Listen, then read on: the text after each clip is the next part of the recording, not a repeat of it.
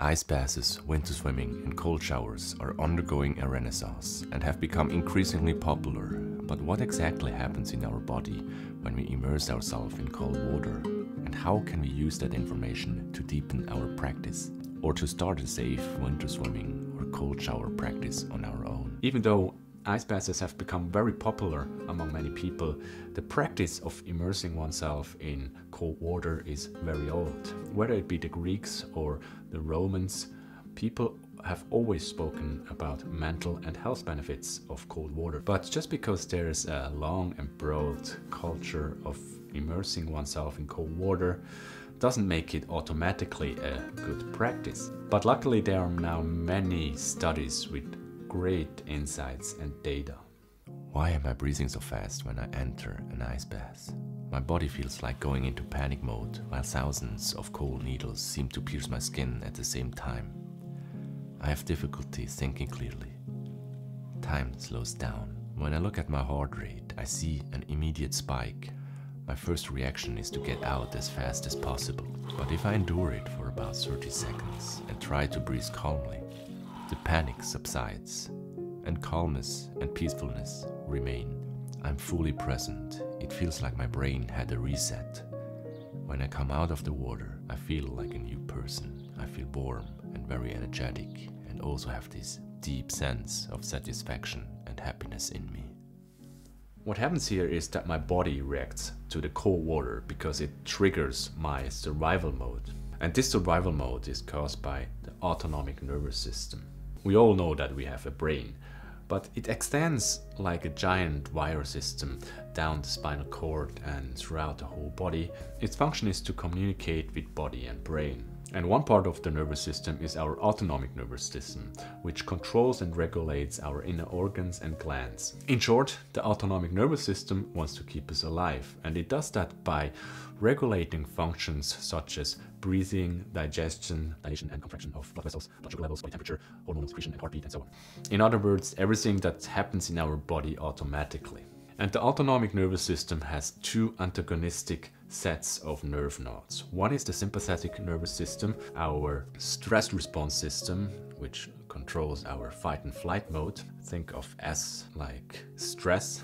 And the other one is the parasympathetic nervous system, which is responsible for rest, recovery, and digestion. So jumping into an ice bath will trigger the sympathetic nervous system because our brain thinks that it's a life-threatening situation. So this stress response by our autonomic nervous system helps our body survive by gearing it up for action. So this first cold-induced shock will trigger a huge release of noradrenaline, which explains the high alertness and wakefulness we get from it. This process fastens our heartbeat, reroutes blood flow to vital organs in the core, and releases more glucose into the bloodstream, enabling us to have more energy. The sympathetic response also releases cortisol, downregulating our innate immune system by reducing inflammation. This can alleviate pain from an excess of inflammation such as uh, muscle soreness.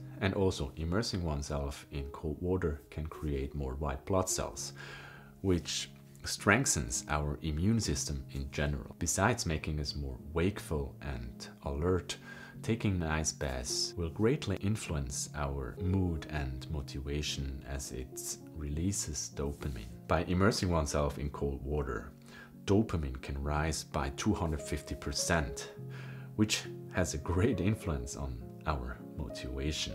But if the spike from stress hormones from the cold shocks makes us so much more alert and wakeful, how come that we get so calm after 30 seconds or so. So there are two reasons for this. One is that we can help counter this initial shock from the cold water with a calming breathing pattern where, where we emphasize long exhales, which will stimulate the parasympathetic nervous system. I have a video on how we can influence our autonomic nervous system with conscious breathing and what happens in the body. So be sure to check that out after this video. But another major factor is that endorphins are released, which numb the pain from the cold when the skin temperature drops and aligns with the water temperature. And the release of endorphins could be why so many people find that taking cold showers or cold plunges helpful as a treatment for depression. But getting more alert and flooding our system with more noradrenaline and other stress hormones won't save us from the cold. So how does the body keep warm and shield me from the cold? So basically there are two categories how the body protects me from the cold. One is isolation from the cold and the other one is the generation of heat or thermogenesis. When it comes to protecting ourselves from the cold, I always thought that the human body isn't really great for protecting ourselves from cold temperatures because we don't have fur. But it turns out that I was wrong. According to Dr. Craig Heller, a professor of biology at Stanford University and expert on temperature regulation, we humans are actually quite good at protecting ourselves from the cold. And the way we do that is by vasoconstriction. We reroute blood from the limbs to our core to protect our vital organs by constricting certain blood vessels. And additionally, when we are in the water, we create this very thin layer of warm water around the thin hairs of our skin's surface. So that means moving in the water or doing the cold plunge in moving water like a river feels colder because the thin warm water layer on our skin is constantly washed away. So if you have trouble taking an ice bath, remaining still and placing the hairless parts of your body like the palms of your hand um, under your armpits for example will help you to preserve body heat. On the other hand, when the water is still too warm for your taste, you can move around by swimming for example. When it comes to generating heat or thermogenesis, our bodies have two options. We can generate heat mechanically or metabolically. And the most obvious example for generating mechanical heat is shivering. A metabolic example of heat generation is when we activate brown fat tissue, a specific type of fat that can produce heat by metabolizing its own fat. And the fantastic thing about brown fat, or brown adipose tissue as it's called, is that it's the good kind of fat. The more regularly we take cold plunges, the more brown fat tissue we generate. And with more brown fat, we can burn more to keep us warm. But that's only the tip of the iceberg. In a paper published by Dr. Susanna Søberg, it was shown that people who would do regular cold water immersion would be more comfortable at slightly lower temperatures where other people would be a little uncomfortable. Secondly, they would metabolically generate more heat when induced by freezing temperatures. And these metabolic adaptations seem to also apply to blood sugar regulation, where winter swimmers would need less insulin to regulate blood sugar levels. And this is a very good sign for health in general. So when we hear of all these hormonal and metabolic benefits, some practical questions remain, such as how cold the water should be or how long I should stay in the water or is there a difference between taking a cold shower and taking an ice bath. As long as the water is uncomfortably cold, it triggers a sympathetic response and will increase brown fat tissue. Dr. Susanna Søberg says that water temperatures of 15 degrees Celsius or 59 degrees Fahrenheit will suffice. In another paper I found that even warmer water temperatures between 17 to 80 degrees Celsius or 62 to 64 degrees Fahrenheit will have a cold induced effect on your body. I find that very motivating, especially for people who are not used to immersing themselves in cold water. We always see these videos of people who are swimming in frozen lakes or immersing themselves in ice water filled with ice cubes, and I'm guilty of that too. But this can be very discouraging for some people. So it's very reassuring to know that you can have all the health benefits with a little warmer temperatures. How long should I stay in the cold water? And how many times should I take a cold plunge in a week? According to Dr. Søberg's paper, a total of 11 minutes is sufficient to bring you all the metabolic health benefits. In her study, the people did divide this time to two to three sessions per week, but you could do it in more or fewer sessions. So the take home message here is that these numbers are very doable for most of the people to improve people's health and well-being dramatically. Let's talk briefly about the difference between taking cold showers and immersing oneself in cold water.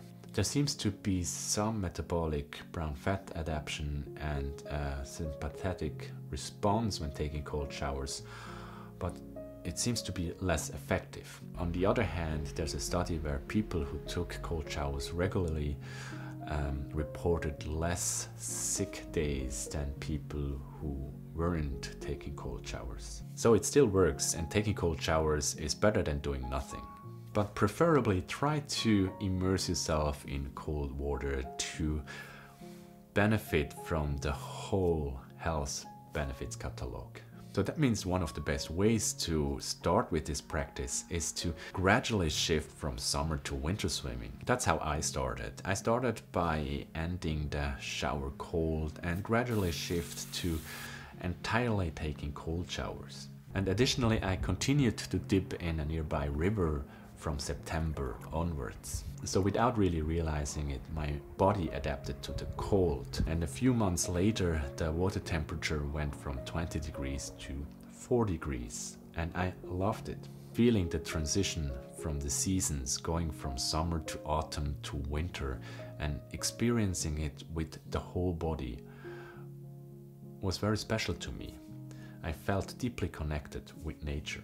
This video wouldn't be complete if I didn't also include the dangers of cold water in cases where I would advise against going into cold water. Just a few days ago, a person drowned when winter swimming at the, at the exact same spot where I used to take my first winter dips. And I don't say that to scare you, there's always danger involved when going into water, regardless of the season. But immersing oneself in cold water has two risks that you should know about. One is the risk of hypothermia, meaning when the body temperature drops to a point where it's dangerous and the other is the danger from cold shock and its consequences, especially for people who are not used to the cold or have heart problems or similar health issues. Hypothermia occurs when the body temperature drops below 35 degrees Celsius or 95 degrees Fahrenheit. A sign of the onset of hypothermia is when people would become confused, don't remember things, or and ultimately fall into unconsciousness. For example, I once experienced a friend who got mild hypothermia because he was in zero degrees water for 15 minutes and couldn't remember his wife's and his kids' names anymore. That's quite scary. How long people can safely stay in very cold water is highly individual. It depends on multiple factors such as water temperature, body size, cold tolerance, etc. But when you follow the protocol of doing 11 minutes in total per week divided into multiple sessions, you don't need to worry about hypothermia even when, when immersing yourself in very cold, freezing temperatures. And remember, the link to all the health benefits is not the drop in body temperature, but the drop in skin temperature. And this will happen within the first 30 seconds of water immersion. One thing to keep in mind is that the blood flow to the brain can decrease by 30% when immersing oneself into ice cold water. You can feel that sometimes by feeling a little dizzy or your vision getting a little blurry. And the blood flow to the brain could decrease even more when diving fully underwater which holds the risk of falling unconscious. This is the reason why you should build up your cold tolerance gradually or get the help from a little prior breathwork, but more on that later. The strong sympathetic response from the cold shock can cause some negative effects if uh, someone already has some health issues. So I wouldn't advise you to take an ice bath if you are already sick, for example. Also, if you have some heart problems or some similar health issues, you should always consult a doctor before you jump into your first ice bath. If you do the Wim Hof method breathing in combination with taking an ice bath, you should never do the breathing when in water. I already talked in detail on what happens in the body when you do the Wim Hof method breathing and why you shouldn't do it in the water. So be sure to check out that video after, after this one.